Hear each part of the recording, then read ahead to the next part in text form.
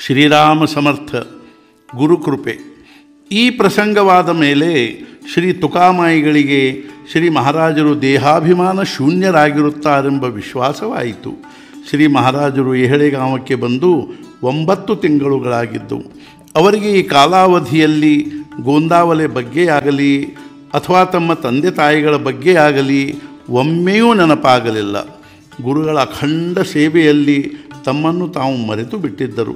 ಇವರ ಮನೋವ್ಯಾಪಾರ ಸ್ತಬ್ಧವಾದವು. ಹಸಿವು, ನೀರಡಿಕೆ, ನಿದ್ರೆ ಮುಂತಾದ ದೇಹ ಧರ್ಮಗಳು ದೂರವಾದವು.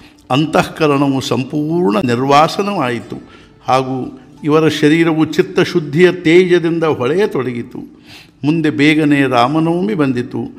ಶ್ರೀ ತುಕಾಮಾಯಿಗಳು ತಮ್ಮ ಜೊತೆ ಇರುವ ಜನರನ್ನು ಉತ್ಸವಕ್ಕಾಗಿ ಉಮರ್ಖೇಡಕ್ಕೆ ಕೊಟ್ಟು ಕಳುಹಿಸಿದರು. ರಾಮನವಮಿಯಂದು ಗುರು ಶಿಷ್ಯರಿಬ್ಬರು ಸುಡುವ ಬಿಸಿಲಿನಲ್ಲಿ ಮನೆಯಿಂದ ಅಡವಿಯ ಕಡೆಗೆ ಹೊರಟರು. ಒಂದು ಹೊಲದಲ್ಲಿಯ ಬಾವಿಯಲ್ಲಿ ಇಬ್ಬರೂ ಸ್ನಾನ ಮಾಡಿದರು.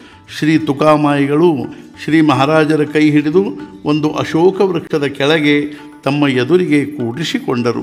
ಹಾಗೂ ನಾನು ಇಂದಿನವರೆಗೆ ನಿನಗೆ ಬಹಳ ಕಷ್ಟ ಕೊಟ್ಟಿರುತ್ತೇನೆ. ಆದರೆ ಹಿಂದೆ ವಶಿಷ್ಠರು ಶ್ರೀರಾಮಚಂದ್ರನಿಗೆ ಏನು ಕೊಟ್ಟಿರುವರೋ ಅದನ್ನು ನಾನು ನಿನಗೆ ಈ ಕ್ಷಣವೇ ಕೊಡುತ್ತೇನೆ. ಎಂದು ಹೇಳಿ ಶ್ರೀ ಮಹಾರಾಜರ ತಲೆಯ ಮೇಲೆ ಕೈಯಿಟ್ಟರು. ಶ್ರೀ ಮಹಾರಾಜರಿಗೆ ಕೂಡಲೇ ಸಮಾಧಿ ಹತ್ತಿತು. ಬಹಳ ಸಮಯದ ನಂತರ ಅವರ ಸಮಾಧಿ ಇಳಿಯಿತು.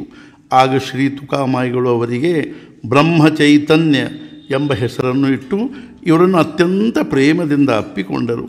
ಶ್ರೀರಾಮ್, ಜೈ ರಾಮ್, ಜೈ ಜೈ ರಾಮ್ ಎಂಬ ತ್ರಯೋದಶಾಕ್ಷರಿ ಮಂತ್ರ ಜಪ ಮಾಡುತ್ತಾ ರಾಮೋಪಾಸನೆ ಮಾಡಲು ಹೇಳಿದರು. ಶ್ರೀ ತುಕಾಮಾಯಿಗಳು ಶ್ರೀ ಮಹಾರಾಜರಿಗೆ ರಾಮದಾಸಿ ದೀಕ್ಷೆ ಕೊಟ್ಟು ಅನುಗ್ರಹ ಕೊಡುವ ಅಧಿಕಾರ ಕೊಟ್ಟರು.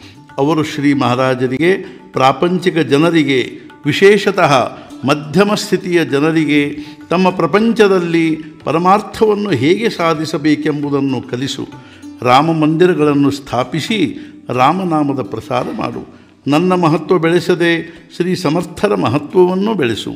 ಜನರಲ್ಲಿ ಭಜನೆಯ ಪ್ರೇಮ ನಿರ್ಮಾಣವಾಗುವ ಮಾರ್ಗ ತೋರಿಸು. ನಿಜವಾದ ದೀನರ ಸೇವೆ ಮಾಡು. ಹಾಗೂ ಎಲ್ಲ ಕಡೆಗೂ ಪ್ರೇಮ ಬೆಳೆಯುವ ಉಪಾಯ ಮಾಡು ಎಂದು ಹೇಳಿದರು.